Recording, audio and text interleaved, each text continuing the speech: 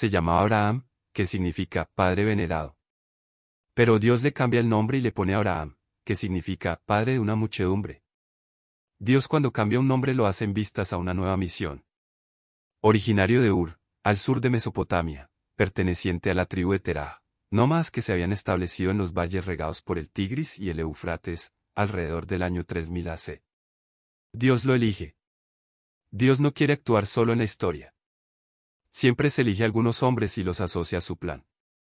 De la respuesta de estos hombres depende el buen o mal resultado de su plan de salvación.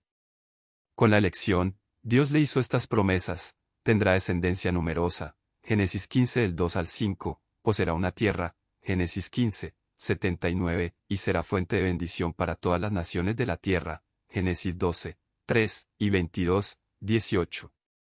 Con la elección, Dios le pide unos compromisos, monoteísmo, Génesis 17, 1, rectitud moral, anda en mi presencia y trata de ser perfecto, Génesis 17, 1, y la fe, es decir, docilidad absoluta a la voluntad del Señor, Génesis 15, 6. B. Dios lo prueba. Dios pone duramente a prueba la fe de sus elegidos. Así es su pedagogía. ¿Qué pruebas puso Abraham? Sal de tu tierra, Génesis 12, 1. La tierra era lo más querido para un hombre en ese tiempo. Es una ruptura muy costosa, Ruptura con su pasado, con su sangre, con su suelo, con su patria. Romper con el pasado para lanzarse a un futuro incierto, para crear un nuevo pueblo, el pueblo de Dios. Sacrifica a tu hijo Isaac. Génesis 22, 2. Después de la esterilidad de Sara, su mujer, Dios le concedió un hijo, Isaac 36. Pero después, Dios le manda sacrificar a su único hijo. ¡Qué prueba tan grande!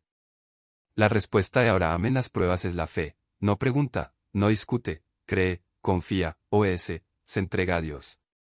Dios lo premia. Dios, a quien le es fiel, le premia.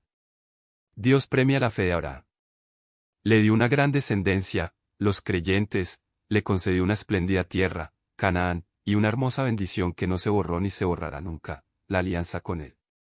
Esta alianza la firmó Abraham con la circuncisión. Solo después de Pentecostés será abolida definitivamente por los apóstoles, Hechos 15, 5 al 29, y sustituida con el bautismo, Colosenses 2 del 10 al 12.